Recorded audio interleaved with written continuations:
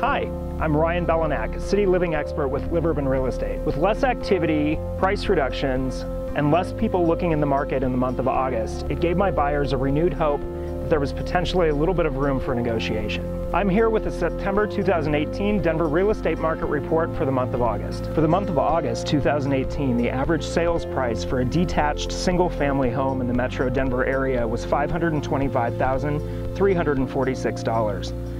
That shows a 9% increase from one year ago. For attached properties, the average sales price was $345,791, which shows a 9% increase from one year ago.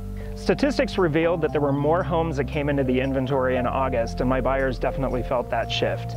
We also noticed a blip in statistics indicating that there was a 29.9% increase in luxury condo sales price um, this could indicate that maybe some of the luxury product that's being built around town is starting to come on the market and close.